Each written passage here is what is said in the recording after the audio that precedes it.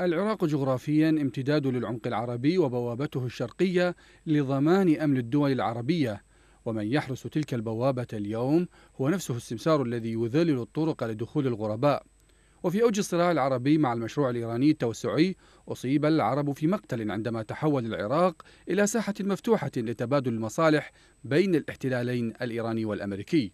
الحكومات المتعاقبة بعد الغزو لم تقصر ضررها على الشعب العراقي فحسب بل صارت مصدر قلق للأمن العربي ككل باعتبارها أداة إيرانية بامتياز سواء بالسلاح أو بالسياسة. محاولات الدول العربية باحتواء تلك الحكومات وتحويلها من خنجر إيراني مسموم إلى سيف عربي باءت بالفشل وعلى العكس من ذلك دأبت حكومات بغداد على سلخ العراق من ثوبه العربي بالوسائل كافة السياسية والعسكرية والاقتصادية والإعلامية. وصار العراق مركزا لتصدير الميليشيات التي عاثت فسادا بالبلاد العربية من اليمن وحتى سوريا بروح إيرانية لا تخفي عداءها للدول الخليجية خصوصا والعرب بصورة عامة.